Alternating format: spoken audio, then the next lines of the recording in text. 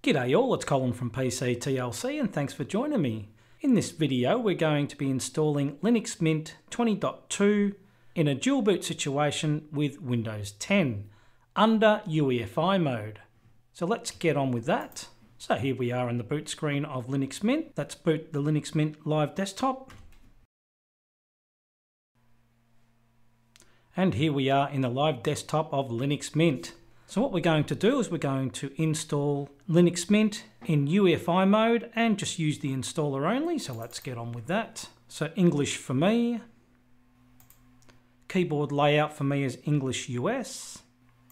Now here we choose to install multimedia codecs and uh, it's best to do that because that gives you all codecs needed out of the box uh, multimedia codecs are required to play some video formats and to properly render some websites. Ubuntu don't install the Ubuntu restricted extras, but this one here installs the mint-meta codecs. So I believe that gives you most things.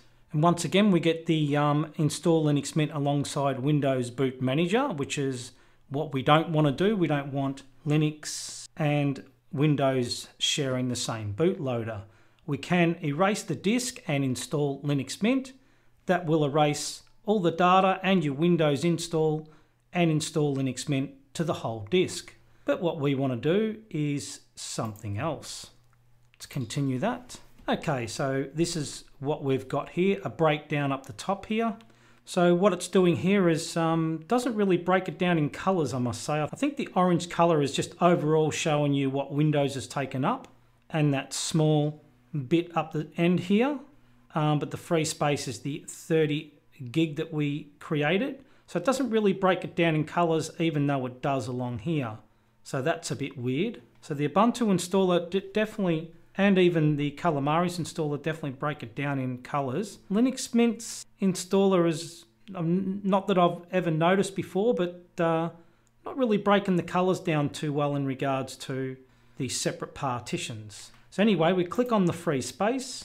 We can click plus button here, just like Ubuntu, to change that, or we can double click, same thing. So first of all, we're gonna make a 512 megabyte partition. It's gonna be primary. We are under UEFI, it will be GPT, partition table. So we can have more than four primary partitions. And it'll be primary, the beginning of this space, we're going to make that a FAT32 file system. Mount point, oh sorry, I did it again, didn't I? It's going to be an EFI system partition. and then we don't have to select anything. And then we select OK. Oh gee, I've got some bad habits there. yes, that habit comes from using gparted, I think. so I don't know why it goes back up to the top. It'd be nice if it uh, went back to um, at least the free space. And I think Calamares went back to the free space, I think, whereas this one doesn't. Can't remember if Ubuntu did or not. Not quite sure. So we click the plus button. This one will be a 4096 megabyte, a 4096 megabyte partition, which is exactly four gigs. It'll be primary, beginning of this space. This will be a swap area and click OK. Yeah, I don't know why it takes you back up the top. You've got to go searching for your free space again. Be nice if they could fix that. Double click that. We're going to go 20,480 megabytes, which is exactly 20 gigs. Primary, beginning of this space. We're going to make it an ext4 file system. Got all these other options here, but ext4 is what I use. And the mount point will be root. And OK. And last of all, we'll use that existing free space, double click, use the remaining space of that partition there. Primary, beginning of this space, it's going to be an ext4. And yes, you can use Btrfs, JFS, XFS. I'm not really used to any of those, so, you know, tried and true ext4. Uh, maybe one day I'll start looking at all these other file systems, but ext4 for me is good enough. And this one's going to be mount point home. Now, one thing I've noticed out of all of these installs is when you're working with the installer, if you're working with an unallocated partition space, you don't get the option of formatting because it recognizes that it's unallocated. It's a brand new partition that you're creating. It's only when you work with gparted and you've got those existing partitions there, it then shows you format options. That, that's what I've noticed. Haven't really noticed that in the past, but making these videos really gets you to notice things, I must say. So forward slash home, click OK. And that's our partitions done. Now it's um, colouring some of these partitions here. So now you've got SDA5 is the EFI. Our Linux swap is SDA6 dark blue. SDA7 is our root partition. And SDA8 is the green one, which is our home. I don't know why that SDA is reading as EXT4. Did I partition that incorrectly? No, it's an EFI partition, so I'm not sure. See, the Windows SDA1 is reading as FAT32, but this one's reading as EXT4. That's a bit strange. Don't know what's going on there. But as you can see, our SDA7 root partition is ticked off to be formatted, and so was the home. Our SDA5 is what we're using for boot. So if device for bootloader installation will be SDA5. That's our EFI boot. And we have two different boot partitions there, SDA5 and Windows SDA1. So they're separate. So Windows and Linux are using two different bootloaders. So uh, Windows can do as many updates as it likes. It's not going to affect our Linux boot. Now what we do is install now. It'll show us the changes that we've made to the disk and I'm happy with that and we'll continue. Perth, Australia is my location, my real name, That'll be Colin, Mint, CIN for cinnamon, VM. I know they're long-winded names. Username is Colin and password. You can click on the box or hit the tab key to go for the next box. And we are done and let's click continue.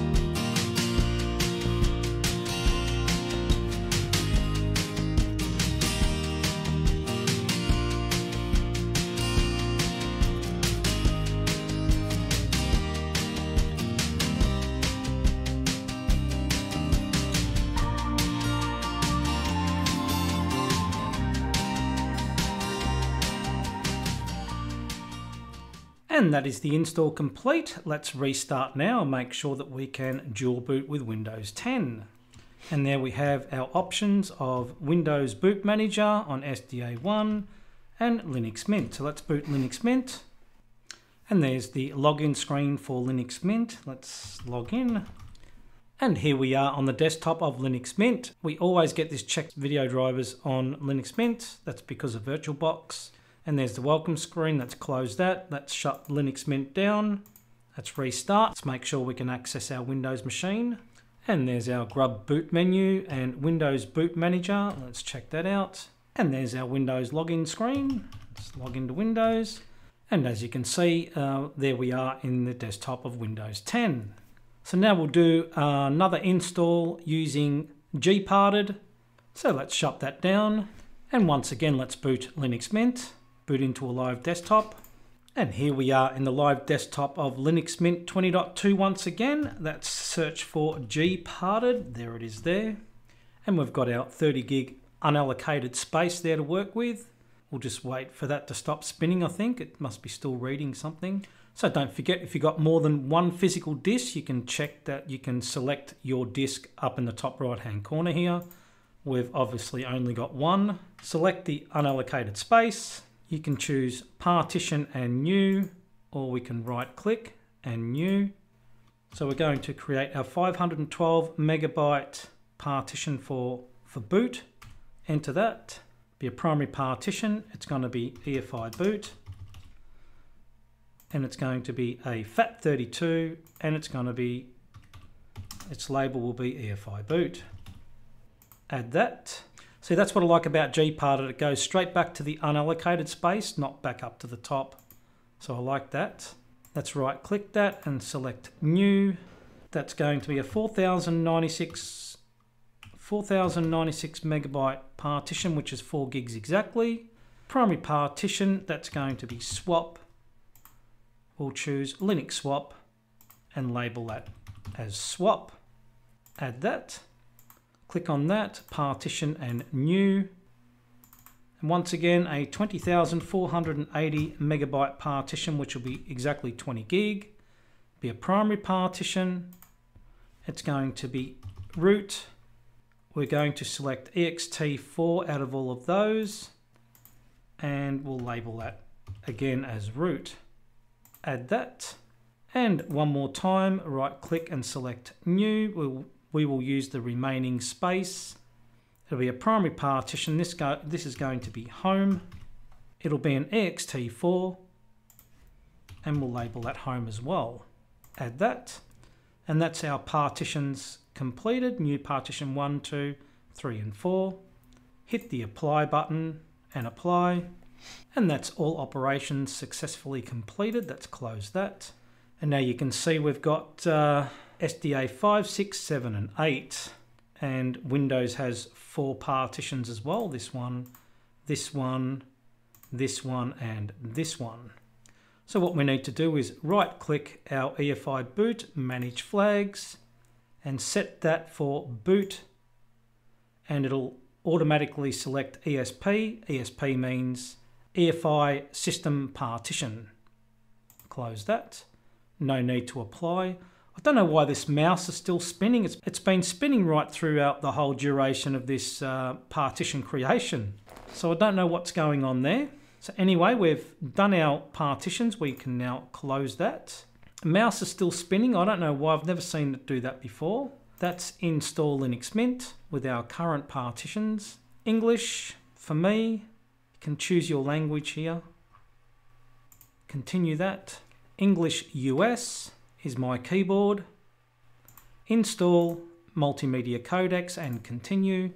That is the um, mint-meta-codecs. That installs pretty much all codecs needed, I believe, even maybe for reading your DVDs and CD-ROMs, I think. Um, don't quote me on that, but it does give you a lot more than what Ubuntu does. But it gives you the option of uh, installing it just in case for some legal reason in your country you're not allowed to do that. So it gives you the responsibility. Now we can choose install Mint alongside Windows Boot Manager, but we all know that that probably will be sharing the same boot, so we don't want to do that. Erase disk and install Linux Mint will clear off all the data on your existing hard drive, including your Windows install, and install Linux Mint to the whole disk. That's why we're going to do something else and continue. Okay, now we're going to be selecting the partitions that have been created, SDA5, and don't forget to write them down from gparted if you use gparted, which one's which, just in case you're not sure, but it is showing the type here. It's not showing the, um, the label, but it is definitely showing the type. So EFI swap EXT4 and EXT4. So this one here, we can click on change or we can double click. It's an EFI system partition, it knows that already. We can double click, we don't need to do anything with the swap. Cancel that. We can click on this one, we can click change or we can double click. We're going to use this as ext4. Now we've got the option of formatting because it's an existing partition. So now you've got control over what you do with that existing partition. I'm going to format it because I'm overriding it. If, if there was an existing Linux Mint in there and I'm upgrading to a new Linux Mint, I would format that. But even though there's not an existing Linux Mint, I'm going to format anyway, um, just to give, just to clean it up with the installer itself. So that's going to be mount point root. And then we've got our SDA8, double click that, and that is going to be ext4. It's going to be forward slash home. Now, do we format it or do we not format it? Well, this is a brand new partition, so I'm going to format it. But if you already had Linux Mint on here using a separate home and you've already got data on there and you're using the same desktop environment, do not format it. It'll pick it up as though Linux was never reinstalled. It'll be like the old system before you installed. You just want to install to root again and just continue to use your normal forward slash home. So if you've got existing documents under documents and existing music under music, um, if you don't format that, well then when you install your new Linux Mint in this root partition here, then everything, your music will still be in the music folder, your documents will still be in under the documents folder and so forth. But this is a new install, brand new partition, I'm going to format it. And that'll clean it up through the installer itself. So you can see that they're both checked off to be formatted and the device for bootloader installation is going to be our SDA5. We choose that and that gives us a separate boot as opposed to the Windows boot. There's a Windows boot manager there, they're going to be kept separate from each other. That way Windows does any updates to its boot manager, it does not affect your Linux boot manager.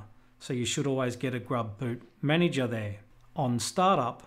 So if you hover over here, you can see there's a scroll bar. I didn't see that in the earlier install, but uh, there we go. We've got all our options there. I'm just interested to know whether Linux swap, yeah, it doesn't tell me, oh, NTFS, ext4, swap.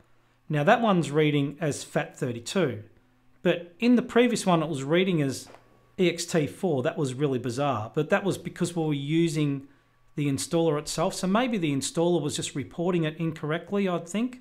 So we can, um, now that we've selected to use our SDA5 for boot, we can install now. Reports what we've uh, done with the disk there, and I'm happy with that, and we shall continue. Australia Perth is my location, my real name, and that'll be my username is Colin and choose a password. Hit the tab key for the next box and click continue. And that is the install complete with Linux Mint uh, using gparted to prepare the partitions. Let's restart now. Make sure we've done that correctly. I'd want to hope so after all these videos. and there's our grub, grub boot screen. Let's boot Linux Mint. And there's our login screen for Linux Mint. That's login. And that is another successful boot that is using gparted to prepare the disk. So let's close Linux Mint, shut that down, restart, make sure that Windows is booting as well. And that's boot Windows. And here we are at the login screen of Windows 10. Let's log into that. And that's another successful boot for Windows 10. So that is another success for dual booting Linux Mint with Windows 10 and that time using gparted to prepare the partitions and executing the install with the Linux Mint installer. So let's shut that down. And that concludes this video of dual booting Linux Mint with Windows 10 um, using both the installer only and also preparing the partitions with gparted and installing with the installer after that. Hope you enjoyed the video, hope you found it interesting and informative. In my next video, which will be the last video of the dual boot Linux and Windows 10 series, I will be installing Linux Mint in legacy mode. So we'll be doing it all again. So thanks for watching and I shall see you in part 10.